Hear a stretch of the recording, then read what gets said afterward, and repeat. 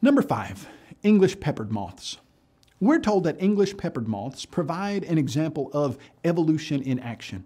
You see, before the Industrial Revolution, there were two varieties of English peppered moths one dark colored, one light colored, but the light colored was much higher in ratio than the dark colored. But after the Industrial Revolution, the dark colored became the more prominent color and the light the fewer in the mix.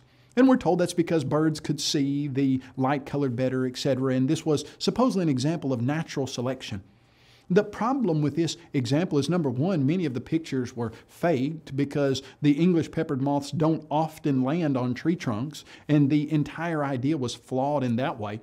But the second problem was that before the Industrial Revolution, the genetic information in the English peppered moth genome had genetic information for two varieties, light colored and dark colored, and after the genetic information was the same. English peppered moths simply do not prove evolution. And number six, horse evolution. If you were to look in your biology textbooks, you would see that horse evolution is often used as evidence that evolution really occurred. You would see a, a picture of a very small animal, almost looks like a fox or something like that, evolving into modern horse. But this scenario, it's fabricated. It's not true. It was made up. In fact, more than 50 years ago, Dr. George Gaylord Simpson said the uniform continuous transformation of Hyracotherium into Equus, so dear to the hearts of generations of textbook writers, never happened in nature.